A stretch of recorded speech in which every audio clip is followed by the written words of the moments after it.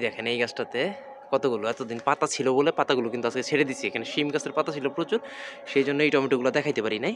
কিন্তু এখন দেখেন এই গাছটাতে এই যে সাইজ বড় হয়েছে হ্যাঁ টমেটোর।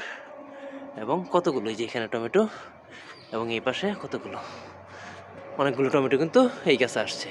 এখানে একদম ঝোপের মতো হয়ে গেছিল। লেটুস এই স্কোয়াশ গাছের পাতা এবং হচ্ছে এটার পাতা সিম গাছের পাতা সব মিলায়া থাকার কারণে এখানে আসলে দেখানো যায় নাই। বাট এই ভিডিওটাতে আমি ক্লিয়ার করে দেখলাম যে একটা গাছে আসলে কতদিনে কতগুলো টমেটো ধরছে এবং প্রায় দুই মাস দুই মাস বয়স, দুই মাসে কিন্তু টমেটো যে আরও ফুলও আসছে প্রচুর। আরও টমেটো ধরবে আর কি।